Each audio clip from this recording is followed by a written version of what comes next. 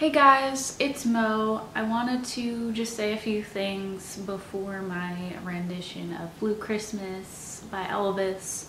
Um, the reason I chose this song is because it's okay to not always be super happy at Christmas. Um, it's okay to experience sadness um, that many of us try to overshadow with all of the festive fun things like putting up the Christmas tree.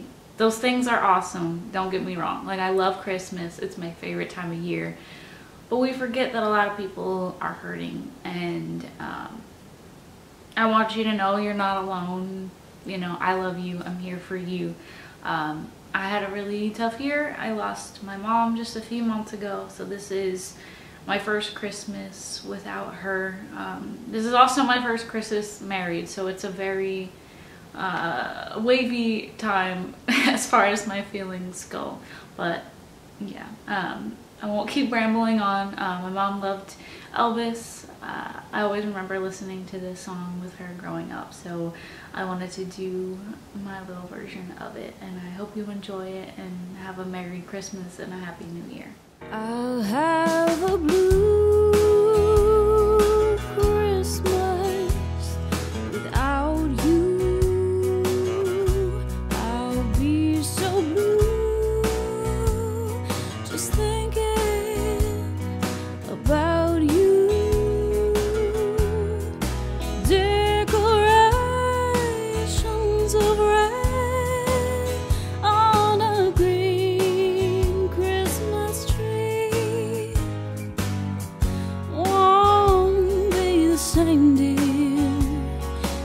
you're not here with me and the window's blue.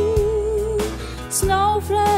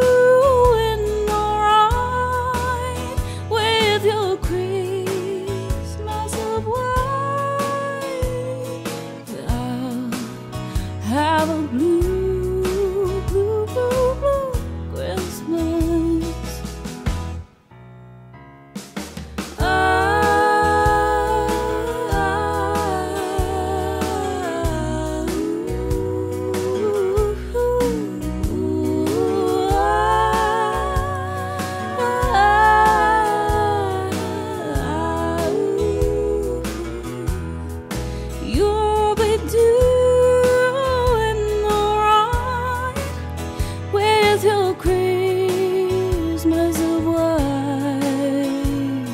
but I'll have a blue, blue Christmas. You'll be doing alright with your Christmas